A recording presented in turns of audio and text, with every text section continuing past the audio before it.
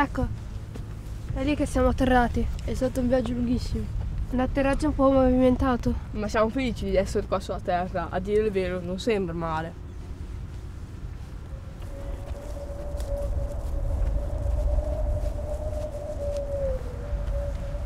Uh, Sì, però dopo il grande cambiamento climatico molti sono andati via. Qui a Sogliera fa sempre caldissimo. La maggior parte infatti è andata in Groenlandia. Ma ora che siete arrivati voi, possiamo andare tutti insieme su Marte. Vero? Certamente, su Marte si sta benissimo. È tutto bellissimo lassù.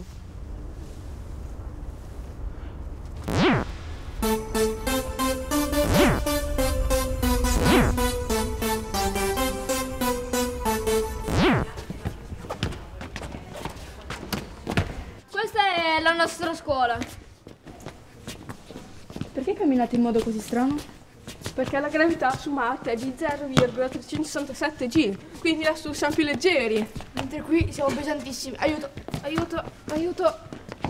Ok, intanto che vi abituate vi raccontiamo cosa è successo sulla Terra negli ultimi anni.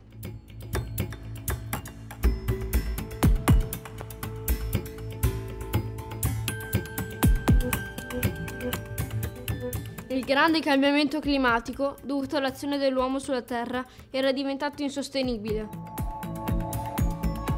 Paesi come l'Italia, un tempo freschi, rigogliosi e pieni di natura, diventarono desertici.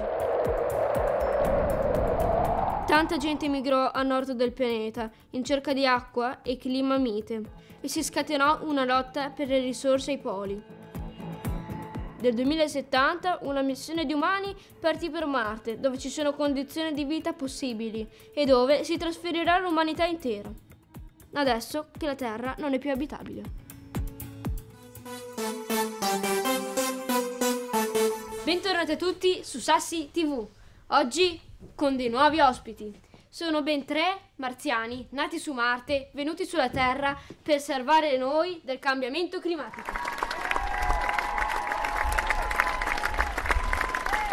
Raccontateci il vostro viaggio per arrivare da, da Marte alla Terra. Grazie alla tecnologia avanzatissima delle nostre navicelle, siamo riusciti a viaggiare per 56 milioni di chilometri in poco più di 6 mesi. Infatti noi siamo partiti quando facevamo la seconda media, adesso facciamo la terza. Proprio come noi. Durante il viaggio abbiamo anche dovuto fare i compiti a distanza, con la DAD. E diteci, chi ha pilotato la navicella? Un po' io. Ah, lei è stata la pilota principale.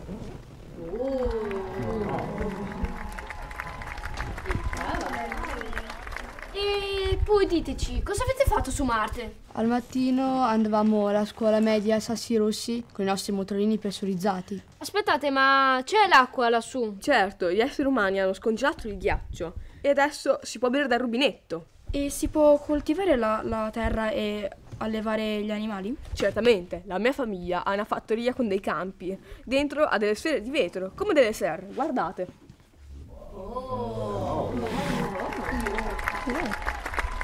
E cosa fate nel, nel tempo libero? A me piace slittare sulle dune di sabbia. Ma anche gare di veicoli a vela, grazie al nostro famoso vento di Marte. Sembra un posto fantastico. Sì, basta stare dentro le cupole o sottoterra, l'aria è ancora irrespirabile per noi umani. Non so cosa sia meglio, il caldo terribile della Terra oppure la mancanza di ossigeno su Marte. Ma infatti fa troppo caldo qua. Non avete un po' di aria condizionata? No, è vietato. Vabbè, vabbè, insomma, quando è che ci potete portare lassù? Beh, basta capire bene quanta gente mettere nella navicella. Dunque, quanti siete rimasti qua sulla Terra? Prima del grande cambiamento climatico eravamo 7 miliardi, ma ora siamo solo 3 miliardi.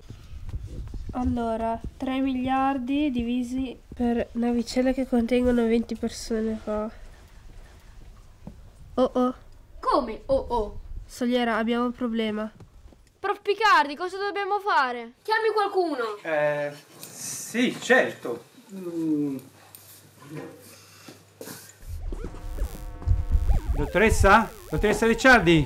Pronto? Mi sente? Ciao ragazzi, mi sentite? Mi sentite? Sono Sara Ricciardi dall'Istituto Nazionale di Astrofisica, ma soprattutto sono nel 2024. Salve, noi siamo nel 2100. Il collegamento spazio-temporale a cui sto lavorando da 35 anni finalmente ha funzionato. Stiamo assistendo a un evento epocale.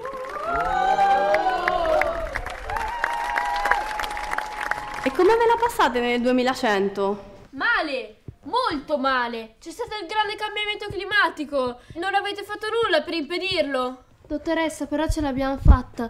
Siamo andati su Marte e porteremo tutta l'umanità lì su.